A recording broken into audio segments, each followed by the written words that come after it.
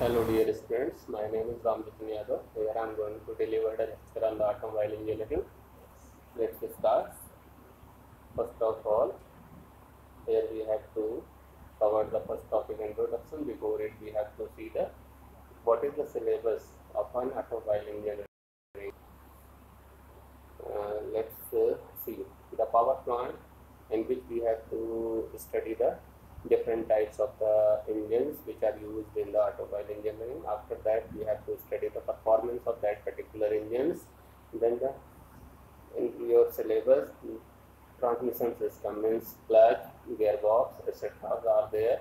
After that, you have to study the steering, transmission system, steering, suspension system, wheels, tires, and the brakes. Let's start. What is an automobile engineering?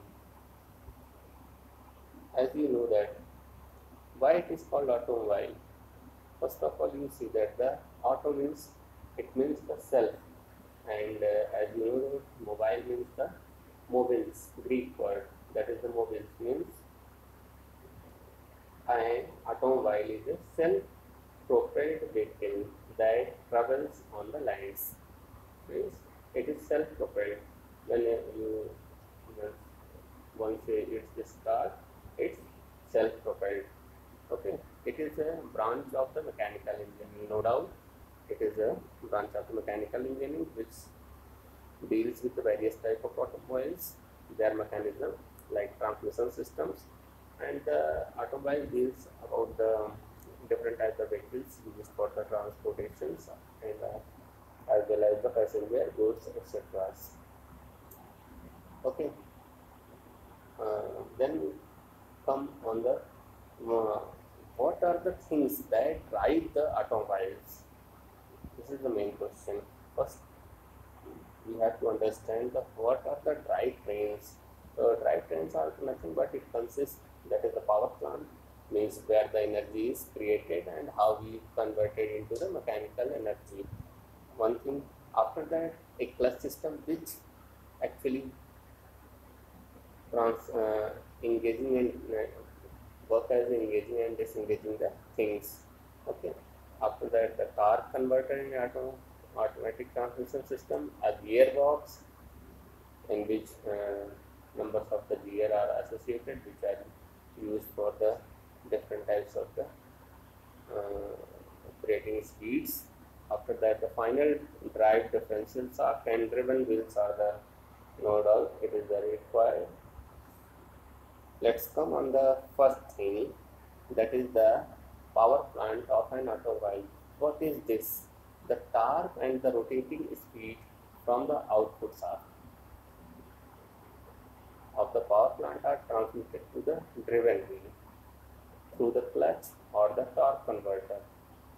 Gearbox final drive differential and the drive shafts.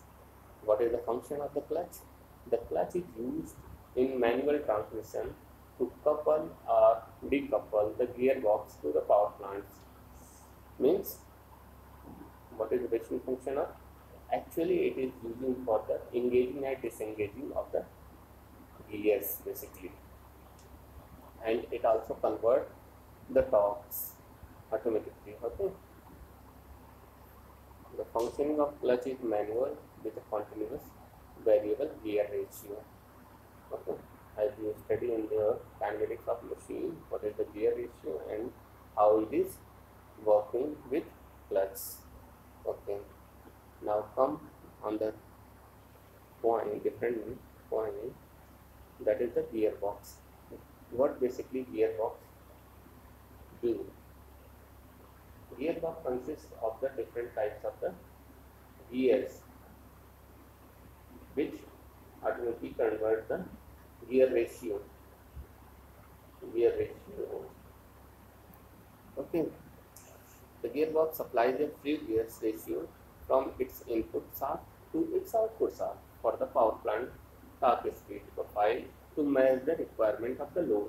As per your requirement of the load you have to change the gear. And that is why a gearbox is required because of the uh, depending upon the speed ratio it is required. In which gear you have to driven your automobile. Okay? That is why the gearbox is required.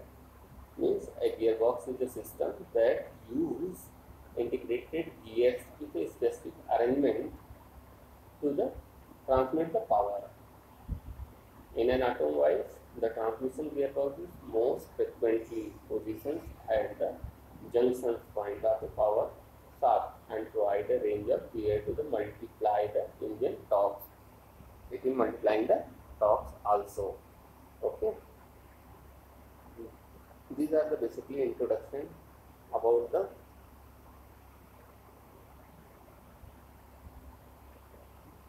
how the power plant working, how what are the things which are we are going to use in the automobile and uh, what are the transmission system, uh, which uh, part, uh, which part of an automobile have using which type of material that are going we are going to use to construct a clutch and what is the function of the clutch, how it is associated with your gearbox, how the torque is converted.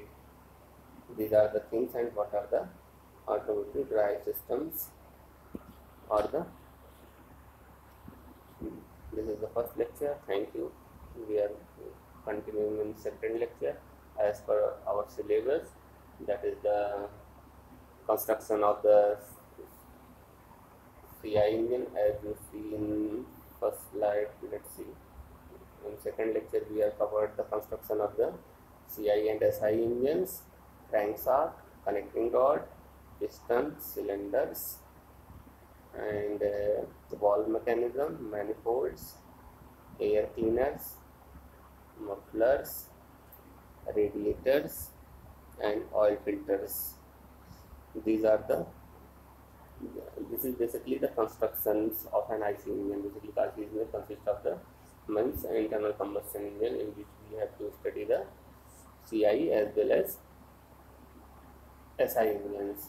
CI engines means combustion compression ignition system engines okay and SI means spark ignition system where we have to, we have to uh, study about the construction detail means what are the basics parts that are used in CI as well as SI and what is the basic difference between the CI and SI engines okay and also, we compare the performance of the CI and SI engines.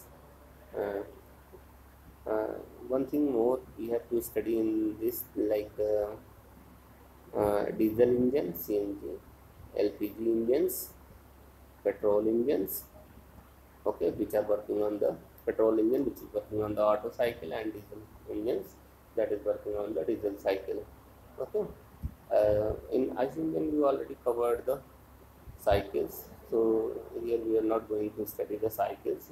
Just um, for a review you go any good book of finance engines and study the uh, cycles that is the Otto and diesel cycles then you will be more comfortable to study the construction detail of the CI and SI engines okay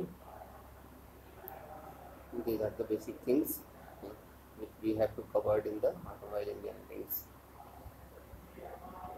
Okay, after that the clutch, gearbox, etc. Okay, thank you.